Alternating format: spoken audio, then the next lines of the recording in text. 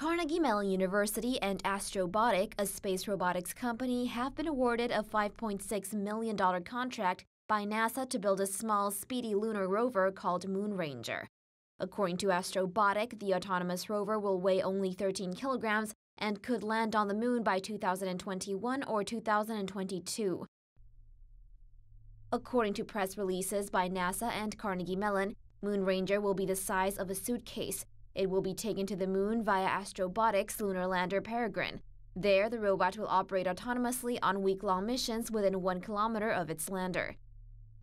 It could search the moon's polar regions for ice or lunar pits and produce detailed 3D maps of the moon's terrain. Data gathered by MoonRanger will be relayed back to our planet via radio once the rover returns to its lander. This is because the rover is too small and is unable to carry a radio powerful enough to communicate with Earth.